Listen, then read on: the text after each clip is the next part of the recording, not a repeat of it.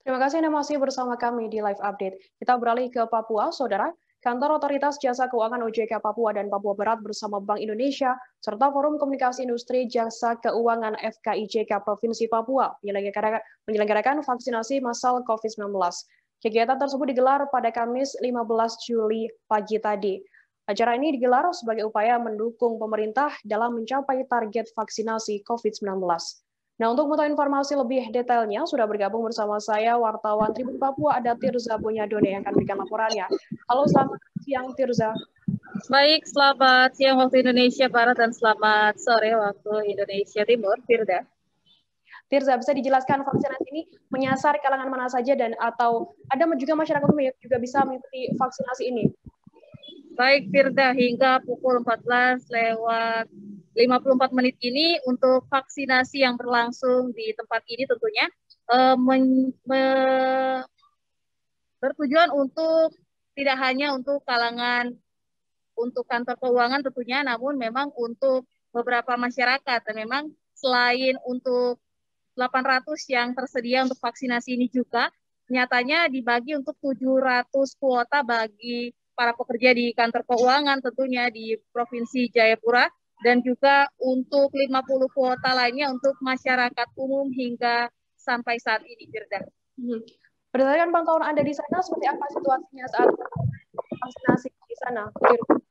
Untuk vaksinasi yang berlangsung dari pukul 10 waktu Indonesia Timur ini terbilang cukup lancar dan juga ramai mengingat masyarakat cukup antusias dalam mengikuti vaksinasi ini. Dan juga sejak pukul 10 hingga pukul 14 lewat 45 menit ini tentunya eh, masyarakat masih terus mengikuti arahan juga dari para petugas yang berjaga di tempat vaksinasi ini. Dan memang meski begitu ada beberapa kendala yakni eh, terjadi permasalahan antara masyarakat yang merasa bahwa tidak mengikuti vaksinasi dengan baik yang artinya e, masyarakat mengkomplain dari pihak OJK untuk lebih lagi melihat bagaimana penerapan dan juga pembagian tempat untuk masyarakat umum dan juga bagi para pekerja dibagi menjadi dua tentunya. Hmm. Akan dilaksanakan hingga kapan vaksinasi ini, Tirza? Rencananya untuk vaksinasi hari ini akan dilaksanakan untuk hari besok juga. Jadi memang diberlangsungkan selama dua hari, dibuka untuk masyarakat umum dan juga para pekerja karena mengingat juga eh, target dari vaksinasi ini juga tidak hanya untuk kesembuhan dari masyarakat tentunya. Namun selain meningkatkan imun eh, dari vaksinasi ini juga sendiri bertujuan untuk meningkatkan lagi perekonomian yang ada di Indonesia dan juga khususnya yang ada di Kota Jayapura melalui vaksinasi keuangan yang diadakan oleh pemerintah.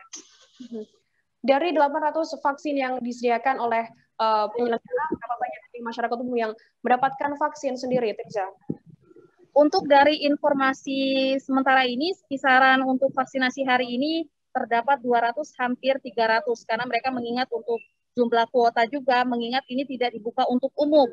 Jadi untuk warga masyarakat yang tadinya juga datang ke tempat ini dan ingin mengikuti vaksinasi memang dibatasi sehingga memang kuota untuk hari ini mungkin sekitar 200 hingga 300 baru terlaksanakan dan akan dilanjutkan untuk besok bila berakhir pada pukul 16.00 waktu Indonesia Timur tentunya. Untuk kuota esok hari apakah masih ada untuk masyarakat umum atau seperti apa informasinya Tirza? Sejauh ini pantauan kami dari yang kami pilah dan kami tanyakan juga kepada pihak yang berwajib tentunya uh, untuk kuota bagi masyarakat mereka tetap menyediakan namun memang tidak sebanyak hari ini karena memang pembatasan kuota terus dilakukan untuk vaksinasi di tempat ini. Hmm. Untuk persyaratannya seperti apa yang apabila ada masyarakat yang ingin mengikuti vaksinasi di sana?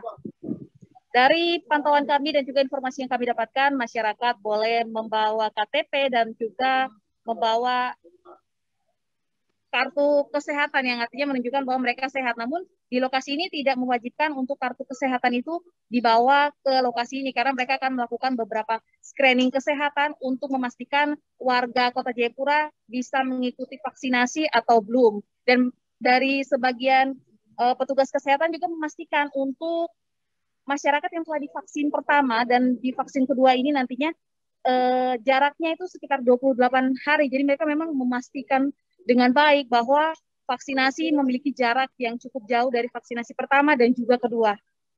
Hmm. Oke, Tribuners tadi jurnalis kami juga sempat melakukan wawancara dengan Kepala OJK Provinsi Papua dan Papua Barat, Adolf Victor Tunggu Simanjuntak, dan juga Direktur Bisnis Bank Papua Sadar Sebayang, dan berikut liputannya untuk Anda. Vaksinasi atau ditunda. Kemudian, setelah di screening, Bapak Ibu akan lanjut di vaksinasi. Ya, ya tentunya ya Bapak Ibu semua kawan-kawan.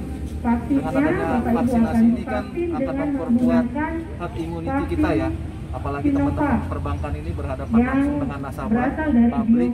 Sehingga kalau dengan adanya vaksin dia merasa yakin ketika berhubungan dengan nasabah. Semua masyarakat Jadi kalau teman-teman di perbankan yang di front line ini ada kayak dari Mandiri, BNI, teman-teman lainnya, juga Bank Papua, ya itu begitu dia berhadapan dengan nasabah, ya kan? Kalau dia sudah divaksin, nasabahnya juga tidak tertular kan, tidak terkena COVID juga. Gitu. Jadi kalau sama-sama yakin vaksin, paling nggak nasabahnya juga aman. Kalau aman, tidak line aman, uh, masyarakat aman ya tentunya ya ekonomi juga kita harapkan pada akhirnya ekonomi juga tetap berjalan. Jangan sampai dengan adanya dengan tidak divaksin ya, kemudian ada beberapa pegawai perbankan kena COVID, dia tidak bekerja atau cabangnya tutup mengakibatkan pelayanan kepada masyarakat terganggu. Ujungnya adalah melalui SMS 1199 atau bisa di-download di dalam aplikasi peduli lindungi. Bapak Ibu bisa JK yang telah bisa saja vaksinasi hari ini kepada seluruh insan jasa keuangan, jadi karyawan dan keluarga. Nah, jadi yang apa yang disampaikan tadi Pak Adolf bahwa pada hari ini kurang lebih 800 paket akan divaksinasikan kepada seluruh keluarga insan perbankan itu, Papua sangat mendukung sekali dan apabila memang dalam penyelenggaraannya ada yang kurang di atas nama Bank Papua kami juga mohon maaf kepada uh, seluruh insan uh, keuangan uh, yang ada di Jayapura dan sekitarnya. Jadi kami sangat mendukung dan terima kasih kepada pemerintah dalam hal ini yang dilaksanakan melalui OJK sehingga vaksinasi ini sudah berjalan dengan baik. Baik Bapak, apakah ini vaksinasi pertama atau ini vaksinasi kedua yang diadakan di tempat ini? Uh, ini vaksinasi kalau bekerja sama dengan uh, eh, OJK khususnya adalah yang pertama. Tetapi khusus internal Bank Papua sudah beberapa kali melakukan vaksinasi kepada keluarga besar Bank Papua. Terima kasih sudah nonton. Jangan lupa like, subscribe, dan share ya.